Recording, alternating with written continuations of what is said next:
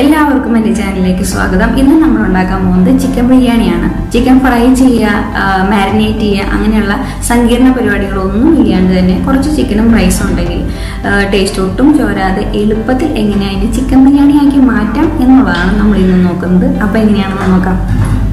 ആദ്യം തന്നെ നമുക്ക് ചിക്കൻ കറി റെഡിയാക്കാം. അതിനാവശ്യമായിട്ടുള്ള ഓയിൽ ഒഴിക്കുക. ഒരു വലിയ സവോള അരിഞ്ഞത് ചേർക്കുക. എന്നിട്ട് നന്നായിട്ടൊന്ന് ഇളക്കി കൊടുക്കുക. കുറച്ച് ഉപ്പും കൂടി ചേർത്ത് സവോള പെട്ടെന്ന് തന്നെ വേണ്ടി കിട്ടും.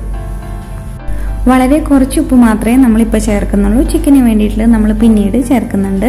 ഇനി ഇതിലേക്ക് വേണ്ടത് അര ടേബിൾ സ്പൂൺ മുളക് പൊടി ഒരു ടേബിൾ സ്പൂൺ മല്ലിപ്പൊടി അര ടീസ്പൂൺ മഞ്ഞൾപ്പൊടി. ഇത്രയും ചേർത്ത് നന്നായി മിക്സ് ചെയ്ത് യോജിപ്പിക്കുക. ഇതിലേക്ക് രണ്ട് ടേബിൾ സ്പൂൺ ഇഞ്ചി വെളുത്തുള്ളി പേസ്റ്റും കൂടെ ചേർക്കുന്നുണ്ട്. ഇനി ഇതിലേക്ക് വേണ്ടത് ഒരു വലിയ തക്കാളി അരച്ച് പേസ്റ്റ് ആക്കിയത് ഇതിലേക്ക് ചേർക്കുക. എന്നിട്ട് ഇത് നന്നായിട്ട് മൂപ്പിച്ചെടുക്കുക. ഇതിലേക്കാണ് നമ്മൾ ചിക്കൻ ഇട്ട് കൊടുക്കുന്നത്.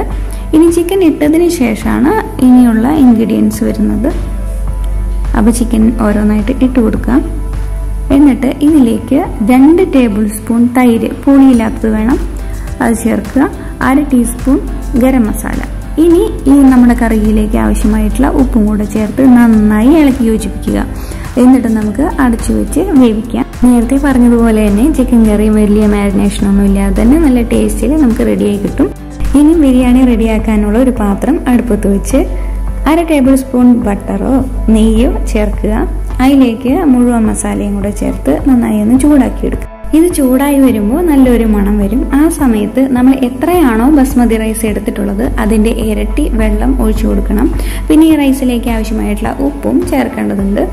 നമ്മൾ ഈ വെള്ളം ഊറ്റി കളയുന്നില്ല. ഈ റൈസ് ഇതിൽ തന്നെ വേവിച്ച് വെള്ളം വറ്റിച്ചെടുക്കുകയാണ് ചെയ്യുന്നത്. ഇനി ഈ വെള്ളം നന്നായി തിളപ്പിക്കണം. വെള്ളം നന്നായി തിളച്ചതിന് ശേഷം മാത്രമേ ഈ റൈസ് ഇതിലേക്ക് ഇട്ട് കൊടുക്കാൻ പാടുള്ളൂ.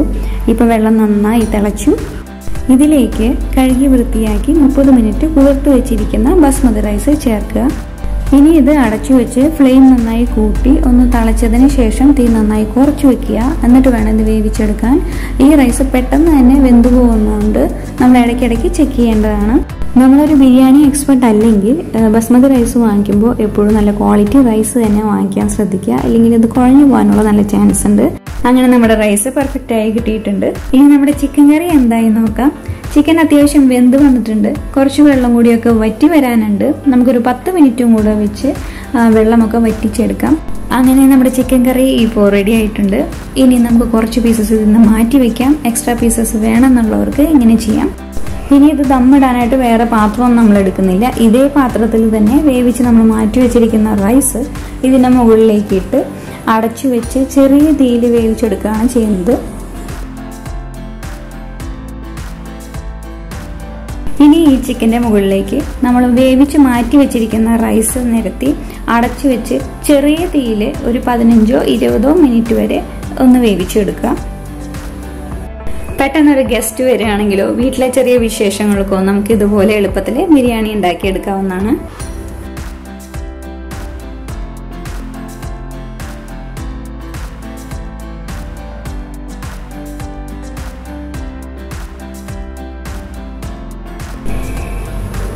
അങ്ങനെ നമ്മുടെ ഈസി ടേസ്റ്റി ചിക്കൻ ബിരിയാണി ഇവിടെ റെഡി ആയിട്ടുണ്ട്. ഒന്ന് ചെറുതായി ഇളക്കി വിളമ്പിയെടുക്കാം. അടുത്ത തവണ നിങ്ങൾക്ക് ബിരിയാണി കഴിക്കണമെന്ന് തോന്നുമ്പോൾ ഇതുപോലെ ഒന്ന് ഉണ്ടാക്കി നോക്കുക. എന്നിട്ട് നിങ്ങളുടെ വിലയേറിയ അഭിപ്രായങ്ങൾ കമന്റിലൂടെ അറിയിക്കുകയും ചെയ്യാം. നിങ്ങൾക്ക് ഈ വീഡിയോ ഇഷ്ടപ്പെട്ടെങ്കിൽ ലൈക്ക് ചെയ്യുക. നിങ്ങളുടെ ഫ്രണ്ട്സ് ഫാമിലിയിലേക്ക് ഒന്ന് ഷെയർ ചെയ്യുക. സബ്സ്ക്രൈബ് ചെയ്യുക.